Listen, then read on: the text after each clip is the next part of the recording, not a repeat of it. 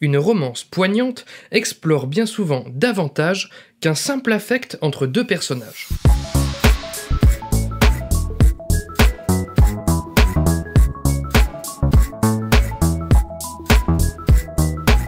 Salut et bienvenue dans ce 15e numéro de Comment c'est raconté, le podcast qui déconstruit les scénarios un dimanche sur deux. Aujourd'hui, intéressons-nous à la romance musicale américaine La La Land, sortie en janvier 2017 au cinéma. Nous y observerons comment son scénariste et réalisateur Damien Chazelle aura su développer un antagonisme pluriel au sein d'un genre cinématographique pourtant centré sur deux uniques personnages principaux.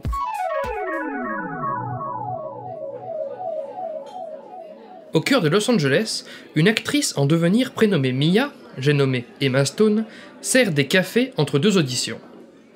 De son côté, Sébastien, campé par Ryan Gosling, passionné de jazz, joue du piano dans des clubs miteux pour assurer sa subsistance. Tous deux sont bien loin de la vie rêvée à laquelle ils aspirent. Le destin va réunir ces doux rêveurs, mais leur coup de foudre résistera-t-il aux tentations, aux déceptions et à la vie trépidante d'Hollywood? Extrait de la bande-annonce. It's pretty strange that we keep running into each other.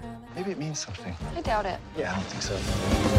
You could just write your own rules, you know, write something that's as interesting as you are. What are you gonna do? I have my own club. Is that gonna happen every time?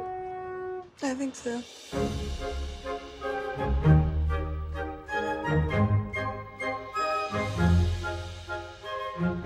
How are you going to be a revolutionary if you're such a traditionalist? You're holding on to the past, but jazz is about the future. Maybe I'm not good enough. Yes, you are. Maybe I'm not. It's like a pipe dream. This is the dream. It's conflict and it's compromise. And it's very, very exciting. Évidemment, spoiler, droit devant. Quand on parle de La La Land, on en vante, à raison, davantage la mise en scène ambitieuse que le scénario plutôt simple. Pour autant, simple ne veut pas dire simpliste. Ainsi, l'extrême lisibilité de ce récit efficace va nous permettre de le déconstruire plus aisément. Concernant les films romantiques, on s'attend le plus souvent à une histoire centrée sur l'évolution d'un couple, deux personnages se rencontrent, se détestent au premier abord, puis se fréquentent malgré eux, pour enfin s'épandre l'un de l'autre, faire un bout de chemin en couple, se disputer, rompre, et finalement se réunir à nouveau. La La ne nous prive effectivement pas, ou presque, de ce schéma, ni dérogeant que dans sa finalité, mais est-ce là le cœur de ce qu'il nous raconte? Dans la mesure où cette œuvre musicale ne présente pas d'antagoniste central, de grand méchant, mais qu'un film gravite généralement tout de même autour de conflits et d'obstacles, posons-nous la question suivante, qu'affrontent ici réellement Sébastien et Mia? Dans mon podcast sur le deuxième opus de la dernière trilogie La planète des singes, j'évoquais l'idée qu'une simple opposition entre un gentil et un méchant ne permet pas de raconter quelque chose de suffisamment intéressant. Il était alors question de confronter des points de vue, ceux des différents personnages, autour d'une même situation, d'une même problématique. Concernant La La Land, l'histoire procède différemment. Dans son traité intitulé Poétique, Aristote remarque que les retournements d'une histoire ne doivent pas être provoqués par la méchanceté d'un personnage, mais par une erreur grave commise par le ou les protagonistes. Autrement dit, et nous commencerons par ce point, les péripéties d'un film s'avèrent bien plus intéressantes lorsqu'elles trouvent leur source dans les faiblesses de nos chers personnages, comme Mia et Sébastien, plutôt que dans l'intervention bêtement mal intentionnée d'antagonistes. En effet, dans La La Land, les personnages sont aveuglés par leurs rêves de carrière cela leur confère tout autant une volonté puissante et positive qu'un entêtement parfois préjudiciable. Pensons par exemple à cette scène où Sébastien veut à tout prix jouer du jazz dans un restaurant où il travaille, au début du film, or ce n'est pas ce qu'on lui demande, ainsi se voit-il virer au premier écart. Michael Hunt, scénariste notamment de Toy Story 3, témoignait en effet de cette technique employée régulièrement par les studios Pixar dans les prémices de leurs histoires, consistant à pousser la passion et donc la force du protagoniste si loin qu'elle en devient une faiblesse. Ce premier fossé qui intervient dans La La Land tourne notre regard vers un combat plutôt comportemental. Plusieurs traités sur l'écriture de scénario insistent effectivement sur ce phénomène des plus poignants pour un spectateur, voir un personnage dépasser une faiblesse profonde.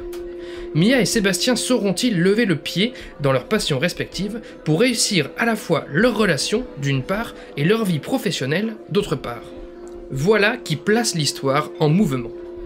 Nos deux héros ne s'affrontent pas l'un l'autre et n'affrontent pas seulement les obstacles extérieurs tels que les auditions, mais affrontent surtout leur rapport à leur passion comme projet de vie, respectivement le jazz traditionnel et l'actorat.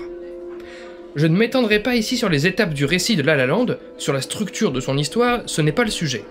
Je me permets juste d'en évoquer la nature du catalyseur, parfaitement théorisé par John York dans son ouvrage Into the Hoods, l'apprentissage.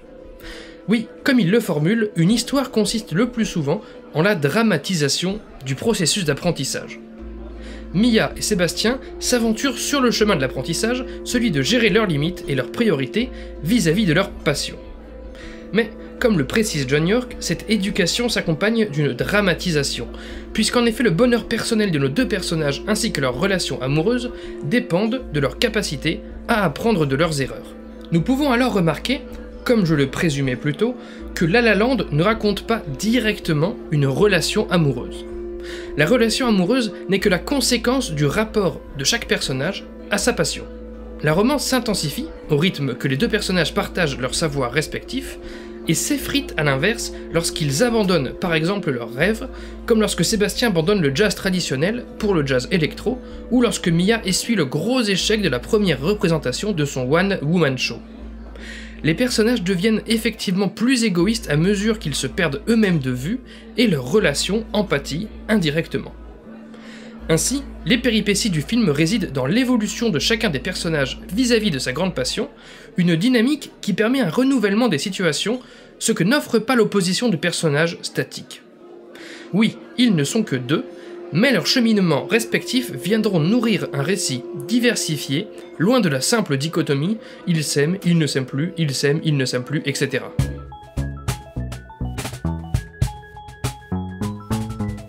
Read people that you like um, and try to figure out why you like them. And when you see something or read something you don't like, try to figure out why you don't like that. Be a diagnostician. Après, je vais peut-être un peu vite en besogne. Le récit se verra-t-il vraiment diversifié? Combien le sera-t-il?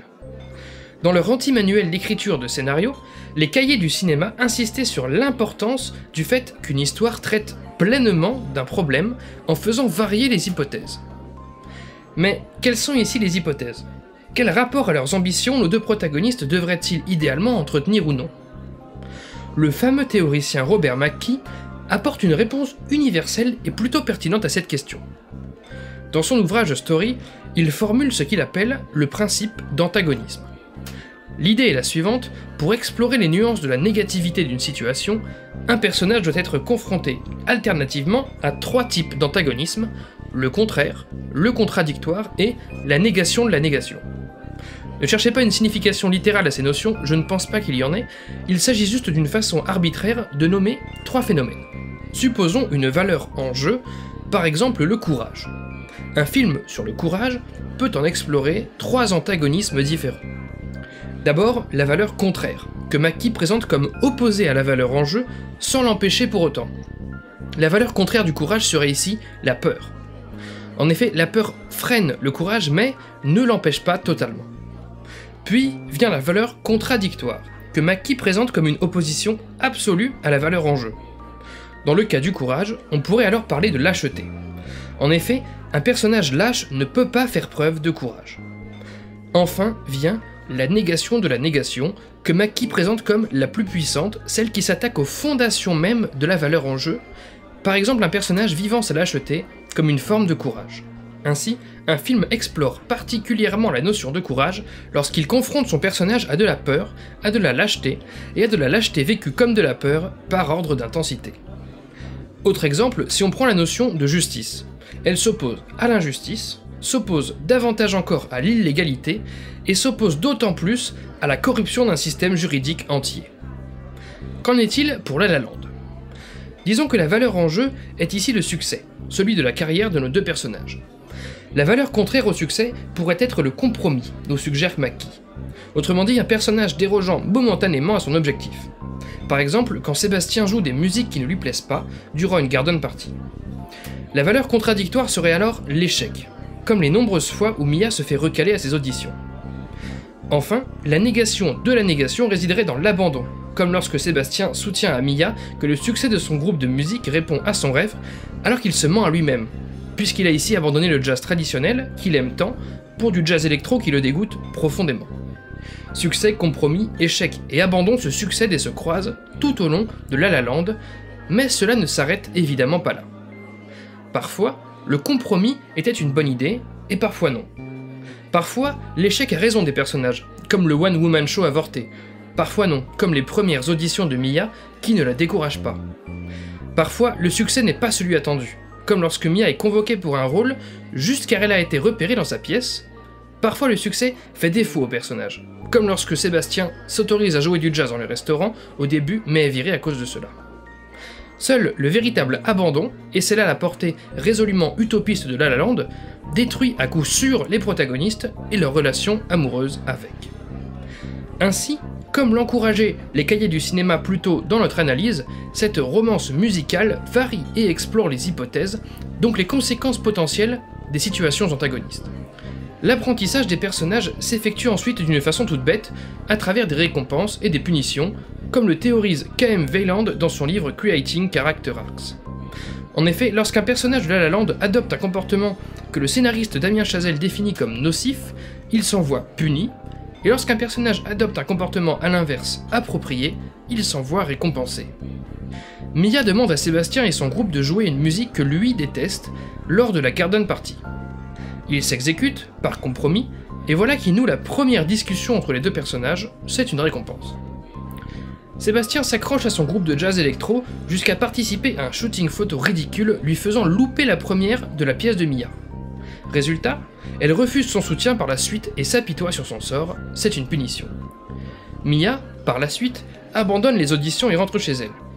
Sébastien vient la forcer à participer à une dernière audition à ne pas abandonner. Elle y va.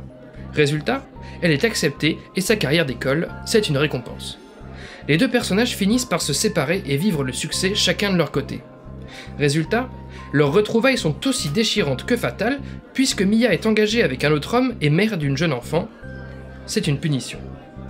Récompense et punitions, qu'elles semblent justes ou injustes aux yeux du spectateur, forcent les personnages à évoluer, à apprendre, à s'épanouir et alimentent ainsi la dynamique globale du film. Terminons avec la question suivante. Un film répondant à ce schéma ne va-t-il pas n'importe où, du coup? Car c'est bien beau d'explorer les antagonismes d'une valeur, telle que le succès, de leur assortir des conséquences plus ou moins joyeuses, mais cela ne génère-t-il pas une histoire qui s'éparpille, qui se perd et ne va nulle part? Justement non. Un tel cheminement du récit accouche ici d'une histoire thématiquement unifiée. Dans son livre Faire d'un bon scénario un scénario formidable, la script docteur Linda Seger insiste sur cette importance d'unifier une narration, d'en faire un tout, afin que le spectateur ait le sentiment d'une œuvre cohérente. Une des façons d'y parvenir, nous dit-elle, consiste justement à contraster chaque partie d'une histoire avec les autres. Car oui, dans l'esprit du spectateur, ces situations de réussite, de compromis, d'échecs et d'abandon se répondent, quelles qu'en soient les issues.